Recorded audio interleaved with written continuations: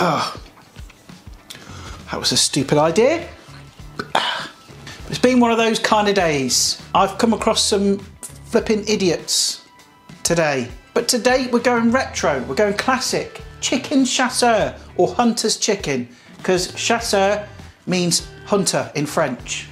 Okay, not the hunter's chicken that you get with the barbecue sauce and the cheese and the bacon.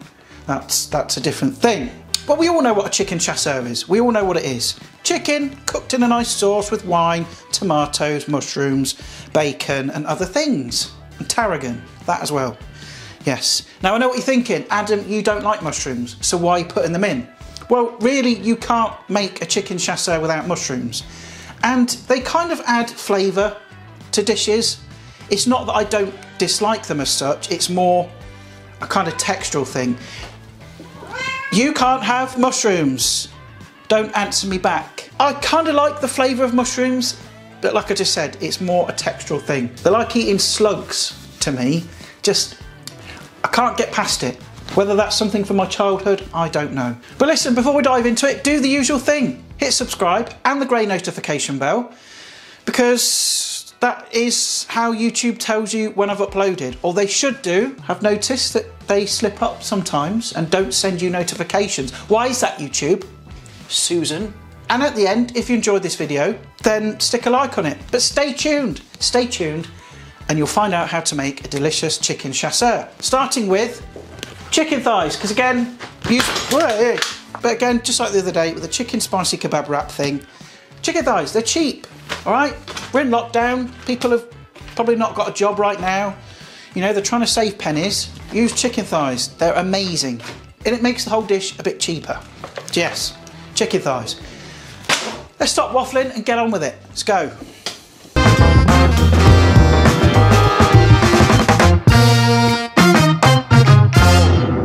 Chicken thighs, chicken, chicken, chicken, chicken thighs. Now you can see, look, they're quite decent sized ones. If they're a bit smaller, use five, maybe six. So I'm just gonna season the skin just lightly with a pinch of salt, kind of pat it in. Oh, oh, ah, nearly put my chicken hands in that salt then. And we need to get some colour on those, so let's get them in the pan. So I've got a frying pan here, we're gonna get that onto a heat fairly high, sort of medium high. Then just a touch of oil, not much, I'd say about two teaspoons is plenty. Then we're gonna lay the chicken thighs down, skin side down, and basically you wanna get some really good colour on these. Get that skin nice and crisp. Spend some time doing it, take your time with it, because the payoff is gonna be worth it. Look, see? That wonderful sort of golden mahogany colour. That's what you want. Make sure you get the sides as well, kind of lean it at the side of the pan, get all edges, because you don't want soggy, flabby chicken skin in your chasseur. So I'm going to take those out. I'm going to leave some of the fat in there, but I don't know if you can see, there is a lot of fat in there. So I'm going to drain some of that off. Okay, so I'm to leave my pan there. Now all those chicken bits in there, we're not going to waste them. But I've got my other pan here, which is what I'm going to cook the chasseur in. The reason I'm using two pans is because this is really good at frying and getting things crisp. This is not so great at getting crispy chicken skin. It's just the material that it's made of. It's not like the best to get crispy chicken skin. So that's why I've done it in separate pans. What I'm gonna do is take the wine and just add that to the pan we fried the chicken in. Then get that back onto the gas and I'm gonna reduce that down by half. What that does is it concentrates the flavour, gets rid of the raw alcohol, because you don't want raw alcohol in your dinner. And whilst it's ticking away, we'll get on, slice up the bacon, dice up the garlic, chop the mushrooms, and get cooking. Yeah.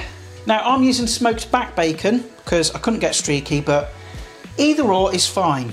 But make sure it's smoked so you get that nice, well, smoky flavour. And literally all I'm gonna do is just slice it up into bits. Garlic, again, we're just gonna slice that just roughly.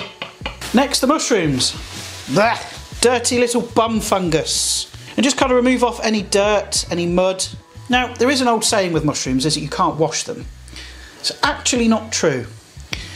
You can wash them, it's just that you can't leave them soaking in water. So if you do need to give them a very quick sort of rinse, then that's fine. Just obviously make sure that you pat them dry because as soon as they sit in water, that's where the problem lies. And literally all I'm going to do with the mushrooms is just slice them up, just roughly. There we go, that's the mushrooms done. Now the only other thing you need to prep is your shallots. Now I did these last night because it's a bit of a laborious task, if I'm honest. If you think peeling an onion is difficult, try peeling flipping shallots. All right, they do take a bit of time, but they are worth it for a dish like this because yes, you can use onion, but shallots are sweeter, they're milder, and they just go nicer in a dish like this. So peel them the night before, just sit in front of the TV, just peel them, and I've cut them into fairly large pieces like that. So yeah, that's the prep done really, so we can start cooking. Let's get on with it. I bet this camera's gonna flip out now because it's not gonna focus on this white bit, is it? Yeah, look at it, look at it. Anyway, right, so let's get the pan onto a heat, sort of medium heat. Again, just a trickle of oil. Then in with the bacon and also the mushrooms. There we go. Start getting that bacon nice and crisp, brown off the mushrooms. The mushrooms will release a bit of water, but that will evaporate quite quickly. But listen, it's all about colour, okay? Colour means flavour. If you could smell in this kitchen, boys and girls, you'd be salivating. But look, you can see it's kind of starting to crisp up. The mushrooms are starting to turn a nice colour. Still a little way to go, but we're going to add the shallots. And again, we're going to stir those around. We want to get a little bit of colour on those as well. Eventually. And after about a minute or so, we're Gonna add some butter. That tablespoon is gonna be fine because there is some fat left in there. And then I'd say about a tablespoon, maybe a tablespoon and a half of plain flour. And what the flour and butter is gonna do is help thicken it. So again, just kind of mix that through. We'll go in with the bay leaves, give them a scrunch. Get the garlic in as well. Next, I'm gonna add the wine and chickeny bits from when we fried off the chicken thighs earlier. And that wine is gonna help lift off all those bits from the pan. Just kind of stir it in. Then in with the chicken stock. Now at this point as well, I've preheated the oven to get it nice and hot, ready for the chasseur. Because you don't want to wait around for flipping oven to heat up. Just get it done as you're cooking this out. Then we're going to go in with half a can of chopped tomatoes. Now we need to season this up, okay? Now I'm not going to add any salt because there's salt in the stock, salt in the bacon. We also seasoned the chicken thighs as well. But what I am going to add is some tarragon. Sort of a level-ish teaspoon of tarragon. Be careful with this herb. It's strong stuff.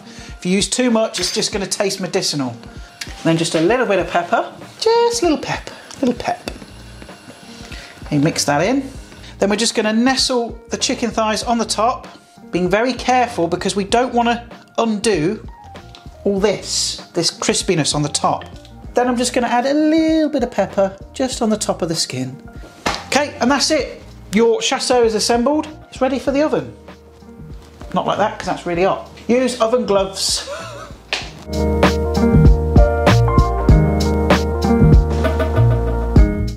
going to take like 45 minutes to cook, uncovered, and check it halfway through because you might need to top it up with a little bit of water if it looks like it's drying out too much. So yeah, leave that 45 minutes till the chicken's cooked through. In the meantime, you can kind of make your mash, get your veg ready, anything else you want serving with it. And that's chicken chasseur. trolls. Giving me these. Giving me these. That's what they're doing. Giving me these on the channel. Yeah.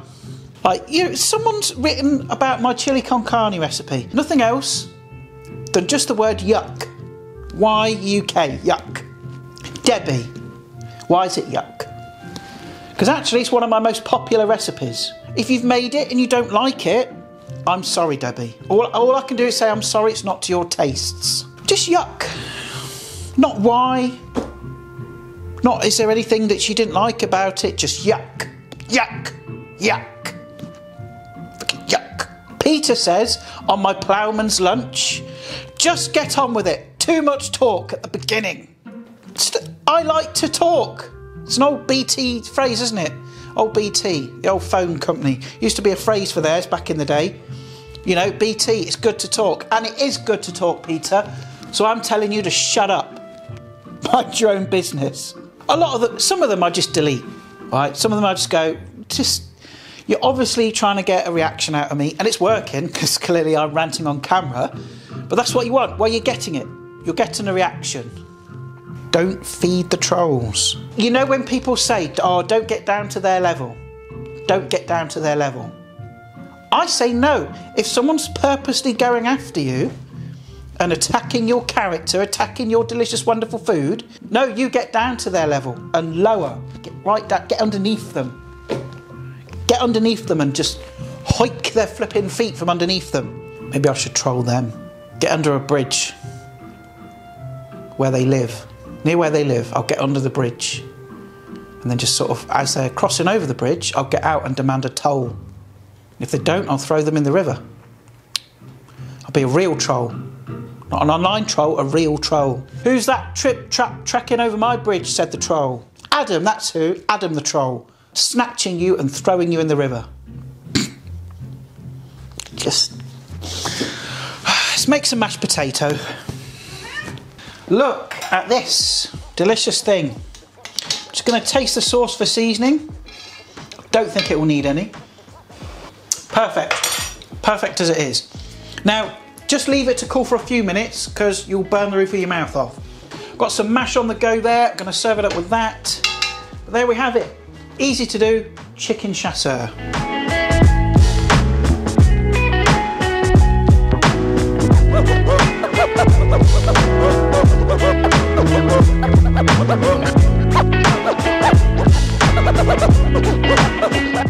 Now, that wasn't difficult to make, was it?